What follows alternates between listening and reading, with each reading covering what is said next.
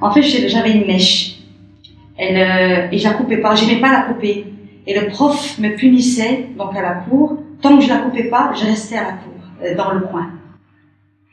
C'est tout le temps, tout, à chaque récréation, c'était comme ça. Jusqu'au moment que Où je tu... la coupe. Et moi, je voulais pas la couper. Et elle me laissait dans le coin. Pour une mèche. Et ça a duré Ouf, toute l'année. Et le prof, elle a, elle a mesuré à chaque fois, hein, quand je l'ai coupé ou pas. Enfin, c'est, c'est, ça m'appartient, quoi. C'est pas, ça m'appartient. Donc, euh, elle n'a pas à, à commander pour voir comment je dois. euh, Euh, les règles militaires, faut les accepter. Pourquoi? C'est comme ça. C'est l'armée. Un enfant insulte un professeur. C'est grave.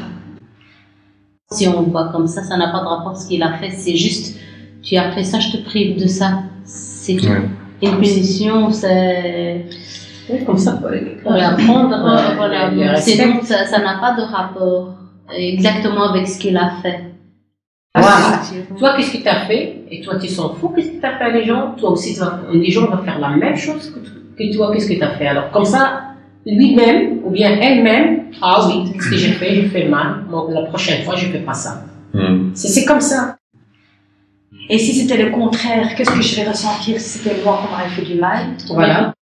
Vous pensez que les enfants pensent comme ça en étant juste isolés à, à toutes ces questions?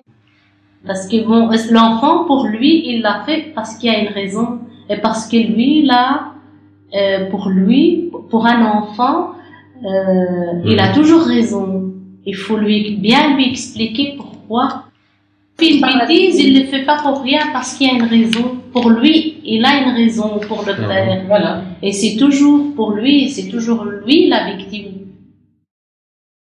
Parce que les enfants, maintenant, ils savent tout. Ils connaissent tout, ils savent tout. Et quand tu prends l'enfant, tu dis dors. Ça, non, ça, c'est pas une punition. Parler aux enfants plus calmement. Donc si, si on veut Oui. qu'ils comprennent pourquoi, on ne doit pas lever la voix. Lui, il a toujours cette impression que la maison, c'est la maison, les parents, c'est... euh, euh, l'école, c'est l'école. Hein. Le parent est choqué, il dit, mais à la maison, il n'est pas comme ça. Pourquoi il est comme ça aussi à l'école?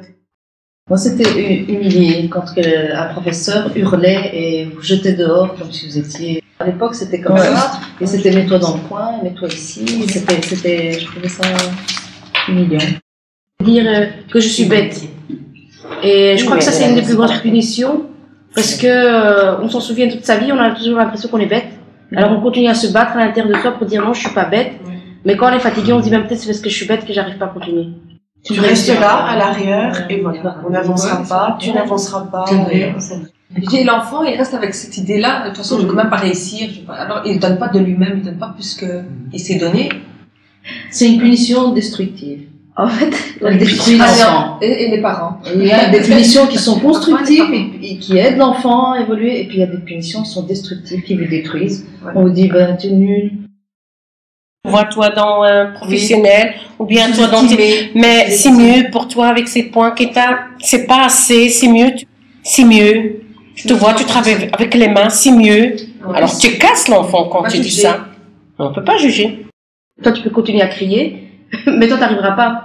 Et donc c'est pour quelque part prouver à l'autre que jouer. c'est pas moi le bête, c'est le bête, c'est toi, parce que t'arrives pas à me contrôler et que t'es plus grand. La punition, est-ce qu'elle est par rapport au fait que euh, aux pro- euh, relation professeur-élève ou relation de l'élève par rapport à l'ensemble de la classe? Moi, c'est le mien. Mais il t'appartient. C'est le mien et je lui ai donné. Si, si, il m'appartient. Non, C'est il pas, il appartient pas à l'État. Non, l'enfant t'appartient pas. Si, mon enfant, il m'appartient. Même en religion, un enfant t'appartient pas. C'est pas un objet qui t'appartient, c'est une personne. sors au lieu de tu prends comme ça l'enfant allez sors ça non Dire, attends, cet enfant, il y a quelque chose qui va pas. On va lui demander qu'est-ce qui va pas. euh, un enfant qui, qui perturbe plus le groupe ou toute la classe, c'est aussi de voir quel est son rôle parmi tous ceux de la classe. Oui, mentir, c'est mal. D'accord? Mais en même temps, quelqu'un téléphone, papa il est à la maison, papa il dit non, on dit pas, il faut pas dire que. Donc, il m'a dit que mentir c'est mal, mais il m'a pas montré c'est quoi. Vous voyez la, la différence? C'est pareil, les jeunes, tout le monde est du mentir c'est pas bien, euh, voler c'est pas bien, euh, tricher c'est pas bien, mais en même temps, oh, c'est pas grave, le papier il est arrivé, allez transformer un peu le nom, Vous voyez, dans, on- personne ne voudrait que son enfant soit voleur. Même un voleur ne voudrait pas que son enfant soit voleur. Des fois, t'as pas le choix, tu vois. Tu fais pas ça aussi. Toi, tu mens pas pour, euh, pour un mal. Toi, tu vas mentir pour un bien, par exemple. C'est que quelqu'un qui est difficile, il faut essayer de le rendre moins difficile. Ah, Mais on voit qu'il y a un impact sur ce qu'on a expliqué. Un Ouais. enfant n'est pas bête. Quand on lui explique quelque chose et que c'est, ça va lui faire mal, on ne va pas le faire. Un enfant, c'est un être humain. Je trouve qu'il ne m'appartient Il est pas. sous ta responsabilité. Il est sous ma responsabilité. Tant qu'il est jeune, j'ai des choses à lui apprendre, mais il ne m'appartient pas. Oui, c'est ça. Je sais. Son éducation m'appartient.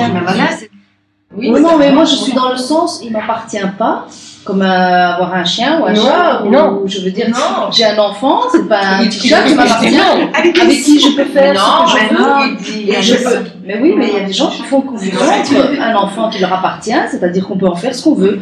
Tu, moi, Il a aussi son mot à dire, l'enfant. mais à partir du moment où on se dit il m'appartient, il y a des gens qui abusent. C'est pas un poisson rouge. Nous, on éduque notre enfant. Les professeurs n'ont pas éduqué nos enfants. Ça, c'est le travail des parents. Voilà. Les enfants passent quand même 8 heures par jour à l'école. Moi, j'estime que si mes enfants passent 8 heures à l'école, ils vont certainement revenir avec quelque chose de l'école.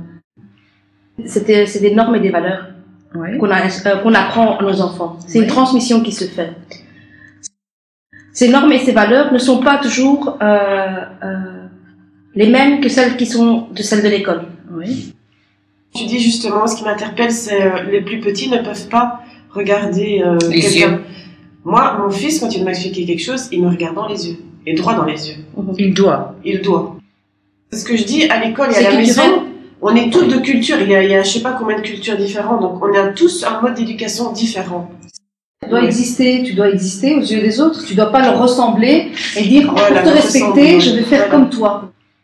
Ah non, d'abord dans ses propres yeux. Il faut exister aux yeux de quelqu'un d'autre. Moi, je, je- je- son caractère, sa personnalité, ça doit rester. C'est pas parce qu'on est respectueux qu'on doit se mettre au niveau de tout le monde et devenir différent. Je sais pas, qu'est-ce qu'on entend exister dans le, dans le regard de l'autre?